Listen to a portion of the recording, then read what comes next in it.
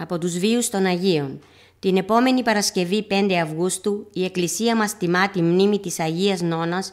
Στο πρόγραμμα μας σήμερα θα αφιερώσουμε μερικές σκέψεις από τη ζωή της. Η Αγία Νόνα ανήκει στη μερίδα των χριστιανών γυναικών και μητέρων που με το φως του Ιησού Χριστού λάμπριναν το στερέωμα της χριστιανικής ιστορίας.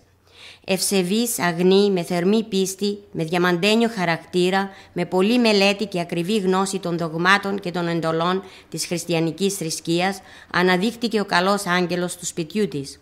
Ο σύζυγός της Γρηγόριος είχε πέσει στην αίρεση των υψισταρίων που δεχόταν μονοπρόσωπο τον ύψιστο και απέριπτε τον τριαδικό Θεό.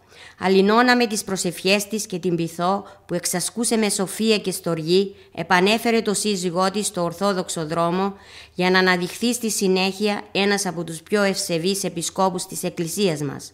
Έπειτα η Νόνα έδειξε τόσο μεγάλη προσοχή στην ανατροφή των παιδιών της, ώστε ανέδειξε πολύτιμες δυνάμεις και έξοχα κοσμήματα της χριστιανικής πίστης.